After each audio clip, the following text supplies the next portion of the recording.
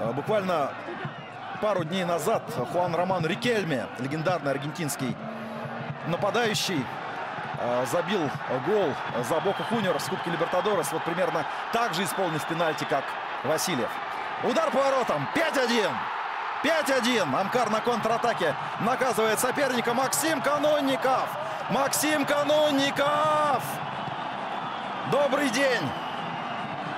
И с почином. Очень важный гол для Канонникова. Очень важный.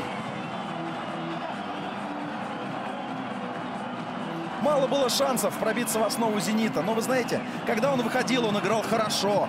И э, помню, что был матч, когда его выпустили именно левым вингером, а он забил в той игре. Сейчас он в Амкаре, и надо забивать. За эту команду надо забивать, и тогда, тогда тебе вспомнят, и не только в Питере. Но э, сейчас будет желтая карточка э, за снятую футболку. Ну, как там в песне пелось? Дайте вы смотрите атаку, а я вам напомню. Но шпаги звук, э, но шпаги звон и звук картечи. И тьмы, осторожная тишина, за долгий взгляд, короткие встречи, ах, это право не цена. Да, вот я думаю, что желтая карточка в обмен на эти эмоции, это нормально.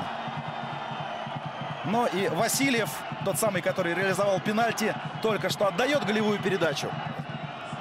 И точку в этой атаке ставит Максим Канонников. 5-1. Амкар выигрывает у Алании. Это настоящий разгром. И это очень серьезный удар по самолюбию Владикавказцев и их наставника Валерия Газаева.